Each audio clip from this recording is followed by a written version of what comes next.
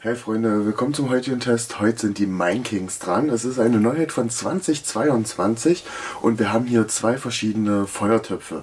Sie sind von Volt, beziehungsweise Leslie und ähm, ja, sind relativ teuer gewesen. Ich glaube so 6, 7 Euro, je nachdem.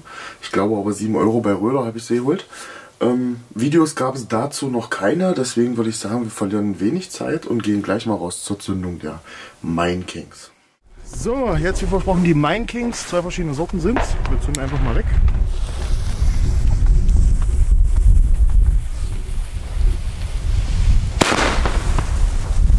Ja. Goldflimmer und blaue Sterne, sehr schön.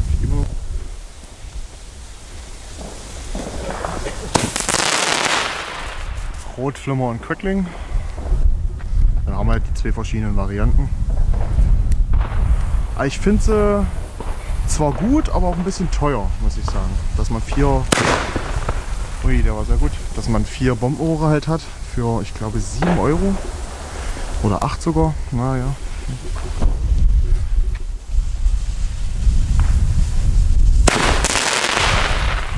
Ja, aber trotzdem ist es sehr schön.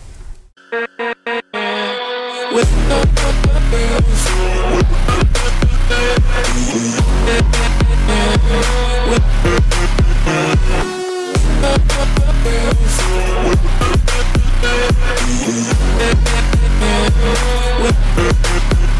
back.